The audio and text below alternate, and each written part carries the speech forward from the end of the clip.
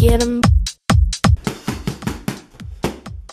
Did you know that more than 70% of the food consumed today was never available in Paleolithic times?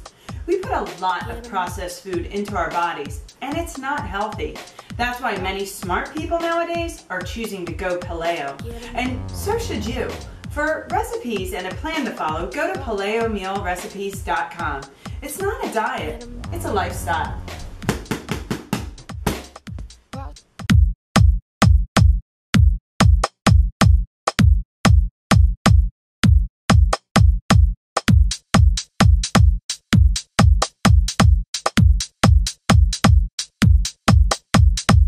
Get 'em.